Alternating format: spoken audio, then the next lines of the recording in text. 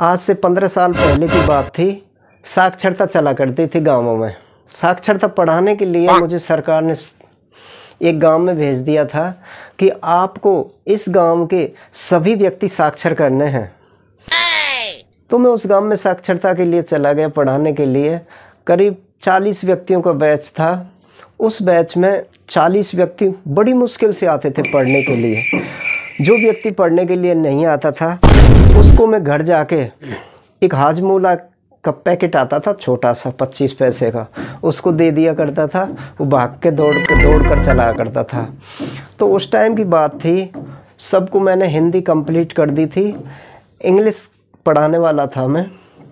तो इंग्लिश मैंने स्टार्टिंग की। A for apple B for bat C for cat D for dog तभी उनमें से एक आदमी खड़ा हुआ।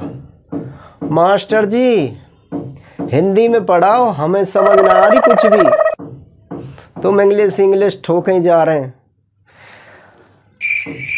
मैंने कहा, चलो भाई, हिंदी में पढ़ा देंगे। तो पढ़ाना स्टार्टिंग किया, बिल्कुल सरल तरीके से। ए फोर अमर सिंह की बहू। बी फोर बल्ला की बहू। सी फोर चेतराम की बहू डी फोर दामोदर की बहू। तो इसी तरीक़ा से मैंने ए से लगाकर जेड तक सभी A B C D complete करा दी थी। मैंने उन लोगों से पूछा, बताओ, इस तरीके से मैंने जो आपको पढ़ाया है सबने याद किया? सबको याद हो गया? सबने हाथ ऊपर खड़े करके कहा हाँ सर जी, सब याद हो गया। एक व्यक्ति को मैंने खड़ा किया। खड़े हो जाओ। क्या नाम है तुम्हारा? साहब, मेरा नाम रामलाल है। रामलाल?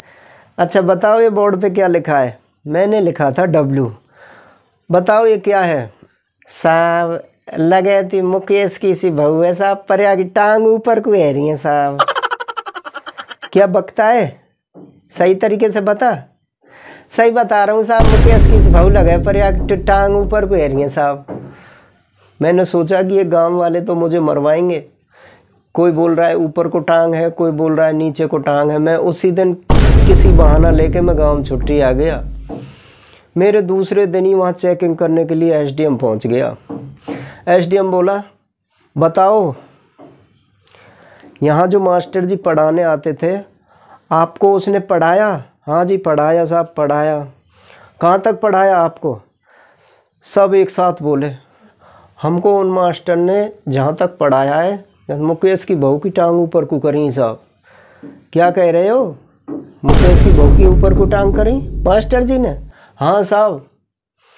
चलो मास्टर जी को बताते हैं ढूंढते हैं। जाई दिना को पढ़ा वो छोड़ो साहब। एस डी एम आज तक मेरे पीछे पीछे डोल रहे मैं तो मिलना क्या